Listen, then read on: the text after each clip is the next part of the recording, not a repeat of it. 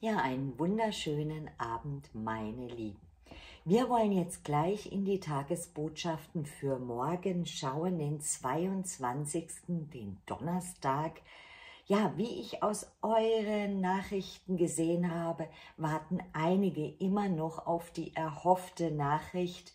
Einige haben eine Nachricht bekommen, auch wenn nicht bei jedem die erhoffte. Aber was ganz, ganz wichtig ist und was ihr nicht vergessen dürft und was ihr auf gar keinen Fall tun sollt, ist in die Hoffnungslosigkeit verfallen, das Vertrauen verlieren und für euch nicht weitergehen. Und ganz wichtig, bleibt wie ihr seid, denn jeder von euch ist einzigartig und wunderbar genauso, wie er ist. Bleibt im Vertrauen, gebt die Hoffnung nicht auf. Ich sage ja immer in meinen anderen Readings, ähm, das Universum spiegelt das, was wir nach oben geben, das bekommen wir gespiegelt wieder zurück. Also bitte, bleibt gut gelaunt, geht für euch weiter, auch wenn ihr gerade in einem Tal seid. Lebt euer Leben, klebt nicht traurig auf dem Sofa, und ja, wenn ihr rausgeht und lächelt, lächelt die Welt zurück. So ist es tatsächlich. Jetzt schauen wir in den Donnerstag, welche Energien da morgen am stärksten sind. Uiuiui, da fallen schon drei direkt raus. Jesus Gott, was ist los? Also morgen scheint Action angesagt zu sein.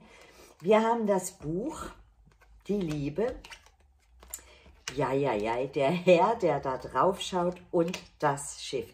Okay, wir sind wieder voll im Thema. Ich kann nichts dafür für diejenigen von euch, die schon mal geschimpft haben, Mensch Aurora, es geht immer um die Liebe. Das sind Kollektivenergien und ja, für ganz, ganz viele geht es nun mal ja sehr, sehr viel um die Liebe. Ja, das Geheimnis. Da soll sich jetzt etwas lüften. Das Buch liegt mit der offenen Seite nach außen. Und zwar soll sich im Thema Liebe etwas lüften. Ein Geheimnis soll ja keins mehr sein. Euer Gegenüber schaut auf die Liebe und auf das neue Kapitel, das Geheimnis, was er jetzt lüften möchte. Er möchte ein neues Kapitel angehen, aufschlagen. Er hat den Kurs gesetzt oder Sie, ihr wisst, ihr Herren, ihr dreht euch bitte um. Die Segel sind gesetzt, er weiß jetzt, wohin er möchte.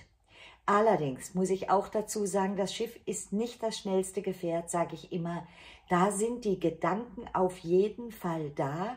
Er hat auch ja, die Umsetzung im Kopf, er möchte sich bewegen. Ob das aber gleich morgen startet, ist eine andere Frage. Denn wie gesagt, das Schiff nicht das schnellste Gefährt. So, hier haben wir gleich schon mal eine noch bekommen. Und jetzt schauen wir mal weiter. Auf jeden Fall super schöne Energien, wenn da jemand bereit ist, ja, ein neues Kapitel in der Liebe aufzuschlagen, auch mal richtig darüber zu sprechen, ähm, was da für Gefühle sind, auch wenn es noch ein bisschen dauern mag. Das Schöne ist, dass da sich jemand in Bewegung setzen möchte. Schauen wir weiter. Zwei Karten hätte ich gerne noch. Und eine noch. Ja, die Würfel sind gefallen, meine Lieben. Es ist Zeit. Er weiß, dass es Zeit ist. Wow. Oh mein Gott. Krieg gerade eine Gänsehaut. Okay.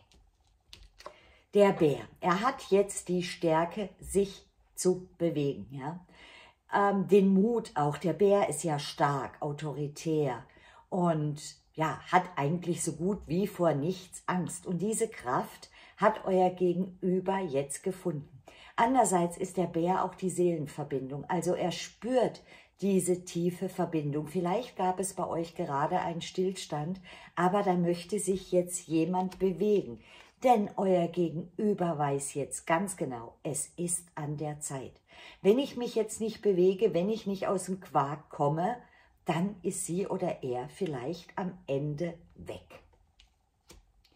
Gut möglich, wir haben wieder, gestern ist der Hund auch schon gefallen in Bezug auf tiefe Gefühle, gut möglich, dass da jemand wieder, ja, sagen wir mal freundschaftlich anklopft, die Lage erstmal abcheckt, äh, wie steht ihr denn noch zu ihm oder ihr, knallt ihr ihm gleich die Tür vor der Nase zu oder hat er oder sie da noch eine Chance? Auf jeden Fall sind für euren Gegenüber die Würfel gefallen. Er oder sie möchte sich jetzt bewegen, die Liebe, ja, dir gestehen. Also mega schöne Karten. Also, ja, mein Herzchen klopft. Ich hoffe, euers auch. Und ihr grinst jetzt gerade ein bisschen für diejenigen auf jeden Fall, die ähm, ja auf so ein Ergebnis hoffen. Und für die Singles unter euch ist es genauso möglich, ähm, dass jemand war gestern schon so, ein Auge auf euch geworfen hat, Gefühle für euch hat, ja, und euch diese jetzt gestehen möchte. Vielleicht klopft er, wie gesagt, auch freundschaftlich erstmal an. Möglicherweise, so war es ja in den letzten Tagen auch schon, ist es tatsächlich ein Freund, ähm, der mehr für euch empfindet und bis jetzt einfach, ja, noch nicht die Stärke hatte, euch das zu gestehen. So, zwei Energien hätte ich also jetzt noch eine und dann schauen wir mit den Tarotkarten mal weiter, was die noch sagen. Bekomme ich noch eine? Jawohl, ups. So. Ja, ein neuer Lebensabschnitt. Die Aufregung hatten wir auch. Und die Schlange. Die Schlange kann bei einigen von euch bedeuten, da gab es noch eine dritte Person, die einfach ein Hindernis war. Ja, möglicherweise war euer Gegenüber noch in einer Beziehung, möglicherweise waren da andere Personen, die in eure Richtung einfach mal ein Stück weit Gift gespritzt haben. Die Schlange ist aber nicht nur die Rivalin oder der Rivale, nein, die Schlange zeigt auch den langen Weg an. Könnte also auch sein, dass es bei euch schon länger so geht, dass ihr nicht wirklich wisst, ja, was will er sie überhaupt? Liebt er sie er sie blub, mich wirklich oder was geht da? Euer Gegenüber ist noch ein bisschen nervös, ne? hat noch ein bisschen die Hosen voll, das zeigen die Vögel. Ähm, die Vögel sind Aufregung und Angst, ja, so ängstlich. Also vielleicht ähm, deswegen das Schiff bereitet alles mal vor, denn ähm, er hat so ein bisschen Angst, wie gesagt, kommt erstmal auf die freundschaftliche Ebene rüber, dass du ihm tatsächlich die Tür vor der Nase zuknallst.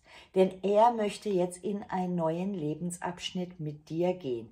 Der Baum ist Stabilität, die Wurzeln tief in der Erde, oben wächst und gedeiht es wunderschön. Und ihr wisst hier der Regenbogen, am Ende des Regenbogens ist der Goldtopf mit der Fülle.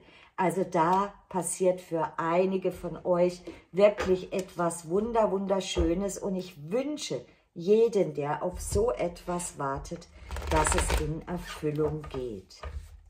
Was sagen die Tarotkarten noch dazu? Für morgen Donnerstag, also da wird der erste Stein auf dieser Reise gesetzt. Wie gesagt, der Schiff der Schiff. der Schiff fährt langsam. Nein, das Schiff ist das Zeichen, dass das Ruder in die Hand genommen wird, der Kurs klar ist und man jetzt lossegelt. Was darf ich mit den Tarotkarten noch für Botschaften überbringen? Ja, da ist jemand ein Licht aufgegangen, ja? Da ist Feuer dahinter, da ist Leidenschaft dahinter, da möchte jetzt etwas umgesetzt werden. Das Ast der Stäbe ist die Chance auf eine Bewegung, ja. Stäbe, Bewegung und hier sieht man's. Da brennt jemand förmlich für euch. Da möcht's raus, ne? Vielleicht seid ihr das auch gerade so, äh, wenn ihr dieses Video anguckt, äh, passiert eh nichts mehr, alles ist doof, was die Aurora da erzählt, da kommt keiner zurück, der meldet sich nicht, der liebt mich nicht, all solche Dinge, ja. Aber schaut mal, da wird euch ein Kelch gereicht, hier, ne? Da wird euch ein Kelch mit Liebe gereicht, also gebt die Hoffnung nicht auf, bleibt im Vertrauen. Ja, guck mal. Jetzt ist auch noch der König der Stäbe gefallen. Wir haben das Ass der Stäbe, die Bewegung. Und der König der Stäbe, der bewegt sich sowieso, ne? Der hat auch vor nichts Angst, der ist mutig. Der geht jetzt seinen Weg. Ist ein König. König heißt Stabilität. Kein Ritter, kein Page, was ich immer so sage beim Ritter. Der schaut sich noch ein bisschen um, ob es irgendwo noch das Gras grüner ist. Aber der hier, der will jetzt, der lässt sich von nichts abhalten, nicht mal von dem Löwen, der hinter ihm steht. Und da weiß es jetzt jemand. Ja? Vielleicht in den letzten Wochen, Monaten wusste dieser Mensch nicht, soll ich den Kelch umdrehen, ja oder nein? Hatte Angst, dass es in die Hose geht. Schau mal hier mal wieder die Schlange, ne? Dass die Schlange ihn beißt. Aber jetzt ist die Entscheidung gefallen. Er möchte zu seiner Liebe stehen und das ist super, super schön. Okay, wenn es hier so eindeutig um die Liebe geht, dann fragen wir noch ganz schnell die kleinen Herzorakelkarten, oh, was die zu sagen haben. Balance. Eine richtig gute Beziehung bietet Halt und Herausforderung zugleich. Lausche in dich hinein, finde heraus, was hinter deinen Gefühlen steckt. Das hat jemand getan. Hier, ne? Da hat jemand wirklich in sich hineingelauscht und, wow, ich denke gerade an dich, ich liebe dich. Das ist die Botschaft für morgen, meine Lieben. Bleibt im Vertrauen, da kommt jemand auf euch zu. Der Ritter ist zwar nicht auf dem Pferd unterwegs, eher auf der Schildkröte, aber er oder sie bewegt sich und das ist wunder, wunderschön. Ich drücke euch jetzt ganz fest die Daumen, dass alles für euch in Erfüllung geht. Wie immer, teilt dieses Video gerne, schreibt mir in die Kommentare und wenn ihr noch kein Abo habt, drückt das Glöckchen, kostet euch keinen Cent. Ich freue mich euch morgen hier wieder zu sehen. Und für euch Singles natürlich, denkt dran, da könnte jemand ums Eck kommen und euch sagen, hey, ich empfinde wirklich viel für dich. Bis morgen. Tschüss, ciao.